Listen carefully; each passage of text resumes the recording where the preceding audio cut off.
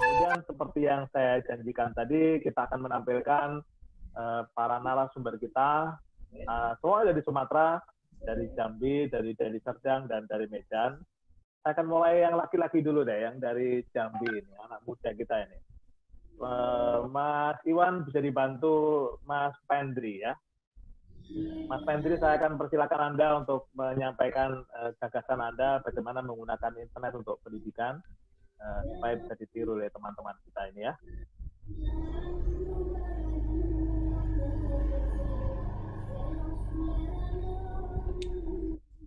Langsung aja. Oke, silakan Mas Pendri. Baik. Uh, Bismillahirrahmanirrahim. Assalamualaikum warahmatullahi wabarakatuh. Selamat pagi, salam sejahtera untuk kita semua. Uh, apa kabar sahabat webinar? Mudah-mudahan pada pagi hari ini kita selalu dilindungi Allah Subhanahu wa taala dan mudah-mudahan bencana global ini segera berakhir. Bapak Ibu sahabat webinar yang saya hormati, uh, Perkenalkan, nama saya Yul Pendri.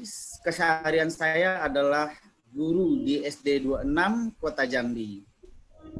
Eh, pada kesempatan ini, ucapan terima kasih yang tak terhingga kepada Bapak CEO Media Guru yang telah memfasilitasi kegiatan ini dan memberikan kesempatan kepada saya untuk berbagi informasi dan berbagi pengalaman kepada Bapak, Ibu, dan sahabat webinar yang hadir saat ini. Eh, pada kesempatan ini, saya ingin berbagi informasi terkait pemanfaatan internet dalam proses pembelajaran melalui metode SSICC. Pemanfaatan metode ini saya uh, lakukan semenjak 2016, baik itu melalui daring maupun secara uh, offline.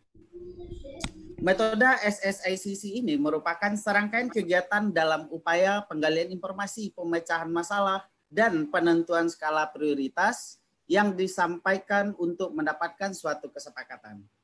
Bapak, Ibu, sahabat webinar yang saya banggakan, ada lima langkah yang saya lakukan terkait pemanfaatan internet. Yang pertama adalah sharing. Sharing ini adalah kunci utama dalam pemanfaatan internet di mana kegiatan yang saya lakukan dalam uh, langkah ini adalah interaksi atau sharing dengan siswa-siswa saya terkait dengan sikap spiritual, ibadahnya, kemudian interaksi dalam keluarga, kemudian bagaimana mereka semua membantu orang tuanya di rumah, terutama untuk mengurus keperluan pribadinya, kemudian menemukan berbagai macam masalah Kemudian yang tak kalah penting karena ini adalah pemanfaatan internet, maka kita harus memberikan petunjuk atau pedoman kepada siswa kita agar siswa kita semuanya bisa terhindar dari pemanfaatan internet secara negatif. Ini yang saya lakukan membuat tutorial salah satunya membuat tutorial sebagaimana yang terlihat di layar Bapak Ibu eh, dan sahabat webinar semua. Ini tutorial penggunaan aplikasi Zoom seperti yang kita lakukan pada saat sekarang ini. Langkah selanjutnya yang saya lakukan adalah dalam metode ini ada searching atau pencarian informasi. Informasi ini dilakukan yang dilakukan oleh siswa saya melalui berbagai uh, aplikasi. Kemudian di sini saat siswa saya uh, seperti yang terlihat pada layar Bapak Ibu dan sahabat webinar semua. Ini siswa saya sedang melakukan pencarian informasi dengan menggunakan Google. Nah, kemudian selain Google, siswa saya juga menggunakan berbagai uh, YouTube, TV, radio, dan aplikasi-aplikasi uh, rumah belajar dan aplikasi lainnya. Ini adalah dokumentasi saat pemanfaatan ini pemanfaatan rumah juara Selanjutnya, setelah mereka mendapatkan informasi, lalu kita selaku guru atau saya selaku guru memandu siswa saya untuk memilah dan memilih informasi sesuai dengan kebutuhan yang mampu memecahkan masalah dalam upaya pencapaian tujuan pembelajarannya. Nah, tugas kita hanya mendampingi, kemudian uh, menjadi teman diskusi bagi siswa kita untuk menentukan per, uh, informasi, memanfaatkan informasi tersebut mana yang paling pas untuk memecahkan masalah entah itu kecakapan hidup, kehidupan sosialnya, dan yang lainnya. Selanjutnya adalah komunikasi. Komunikasi dalam hal ini yang saya lakukan adalah diskusi dan presentasi. Diskusi yang saya lakukan dengan siswa saya selama ini uh, menggunakan WhatsApp, Edmodo, dan juga Zoom. Ini uh, dokumentasi yang saya lakukan pada masa COVID ini. Ya, Bapak Ibu, sahabat webinar semua, dan ini adalah pemanfaatan Edmodo bagi siswa saya, di mana siswa saya dalam satu kelas memiliki uh, akun Edmodo masing-masing. Nah, semuanya kami melakukan diskusi melalui uh, diskusi secara online di Edmodo. Kemudian juga ada kuisnya juga di akun Edmodo tersebut.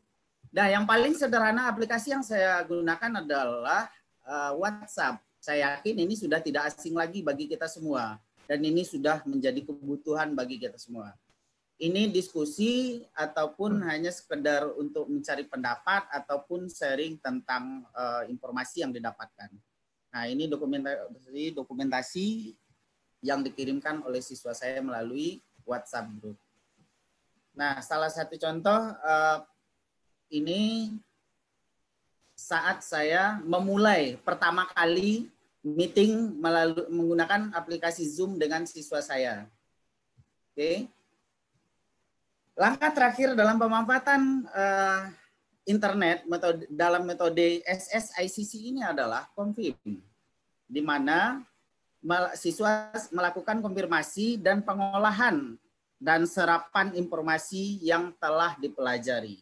Nah, Langkah ini melihat bagaimana kemampuan siswa kita dalam memaparkan informasi atau mengolah informasi yang telah didapatkan menjadi suatu karya atau kesimpulan bahkan produk. Nah, dalam hal ini eh, untuk pengumpulan karya-karyanya saya menggunakan WhatsApp, kemudian eh, ada dengan Quizzes, Quizzes termasuk eh, aplikasi yang saya gunakan terhadap konfirmasi pengetahuan. Kemudian saya lebih cenderung menggunakan Padlet. Kenapa Padlet? Ini merupakan aplikasi yang sangat sederhana yang bisa digunakan oleh semua siswa kita. Di mana aplikasi ini sangat aman, hanya kita sebagai guru yang membuat aplikasinya, kemudian linknya di-share ke uh, seluruh siswa kita, dan siswa kita tinggal masuk satu kali klik, setelah masuk akan muncul seperti ini, siswa kita bisa langsung menuliskan namanya, kemudian menceritakan panjang lebar terkait informasi yang didapatkan.